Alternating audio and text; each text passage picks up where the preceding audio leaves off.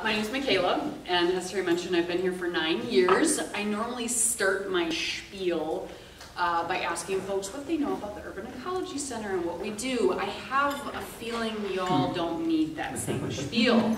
So I at least wanted to reiterate our mission. Uh, so we connect people in cities to each other, and our vision is to inspire generations to building environmental curiosity, understanding, and respect.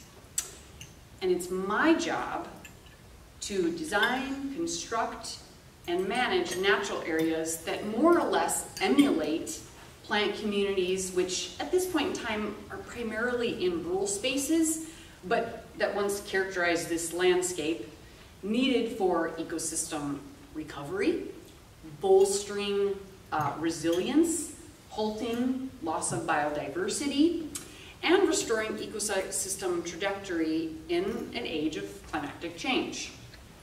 I do this by employing uh, various lenses to help guide my land restoration and management activities. These lenses include ecological lens, a social lens, an economic lens, and a historical lens.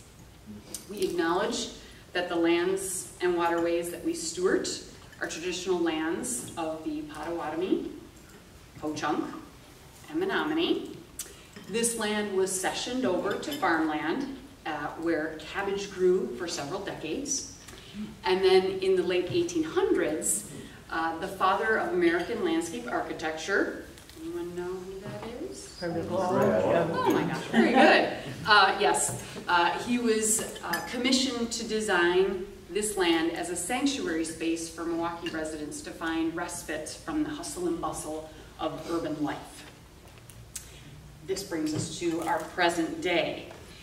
The Urban Ecology Center within this park has increased the plant biodiversity by 95%. Wow. To give a little bit of context about the value of plants, they are the physiological foundation of a hierarchy of needs. Every animal depends on plants. what you're eating today, food, shelter, air, water, and hydration, and a place to breed. In 2013, we had roughly one acre of land converted from mowed turf grass to natural area. From the years 2013 to 2020, we converted about seven acres to natural areas. We manage about 10 within the park for invasive species and whatnot. Um, at that same time, our research team was recording bird species richness, so the number of different bird species found within our park.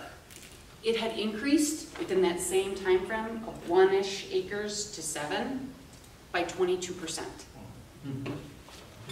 Food, shelter, air, water, reproduction. Um, invertebrates, we're still doing quite a bit of data analysis. We've got a lot of keen volunteers within the neighborhood really interested in bugs. But the four, uh, we had four beetle species recorded within the UEC green spaces. These are new species to Wisconsin.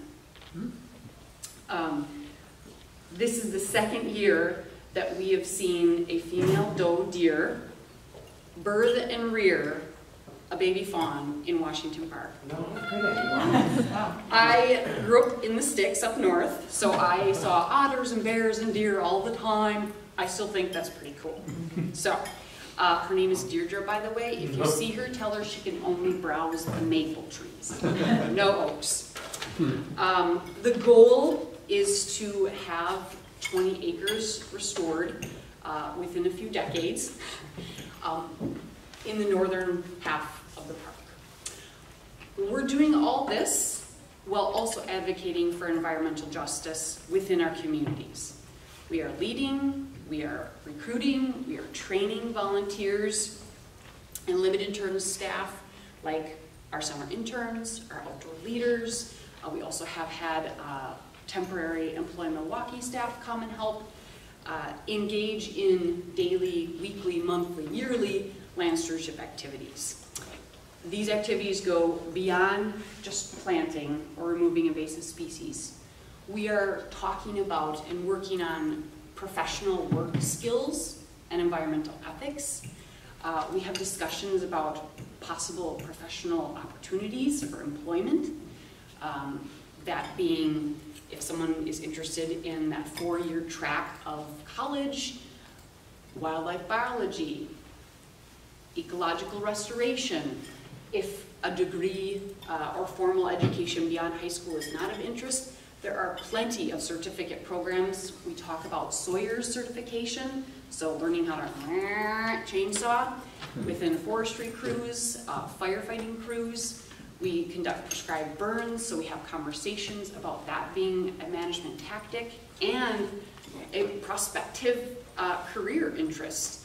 Uh, we are desperate, I guess not we, but the collective we, are desperate for uh, firefighters. We have a firefighter shortage and uh, within our nation. So that too requires at the minimum five days, one certification, and then hands-on hours of work. Uh, gardening, landscaping, opportunities for entrepreneurship. We partner with uh, MATC, their arboriculture apprenticeship program comes in and helps Milwaukee County Parks as well as the UEC uh, fell trees within Washington Park. All gaining hands-on experience within the neighborhood. Um, Pre-pandemic, we hosted around a thousand volunteers a year. They offered over 2,200 hours of time. I hope one day we can return to those numbers. Uh, if not, bump them up a bit. So inclusion of residents in our restoration activities uh, within the parks has absolutely cultivated a sense of pride and connection to the land that I truly hear echoed um, on a weekly basis when we have our walk-in volunteering opportunities, uh, as well as our public programming. So we offer botany walks. I would encourage you all to attend. Uh, one a month at each branch, I should say three times a month, once at each branch a month. Um, I lead native landscaping design workshops. Last night was the wrap-up for our second workshop. We had such an interest in that program. Uh, I usually run it once a, uh, I call it a semester, but once in the winter and then once in like the fall. But we had so many people interested. We filled up the class of 2025 within two days. So I decided to run a second program, which again ended yesterday. Uh, Again, beautifying the neighborhood, not just the park spaces. Um, we have plant sales. We have one this Sunday at Riverside Park from 9 to 1. Uh, we have a fruit orchard that we constructed back in 2013, open to the public. And uh, I've taught in the past fruit tree training for those that are interested in having their own fruit trees. Um, Community Pie is another club that comes in. Again, neighborhood folks coming in to work with young scientists, harvesting fruit from the orchard, prepping the pie crusts, constructing the pies, baking, you name it, from start to finish, and then offering it to um, individuals coming to Winterfest or um, Autumn Fest, etc. Those are some of the activities that we do. And with the construction of the new building, uh, it will allow us to not only expand programming, but also restore land that can interconnect 40th Street with the building with the west side of the park. So I'm really excited.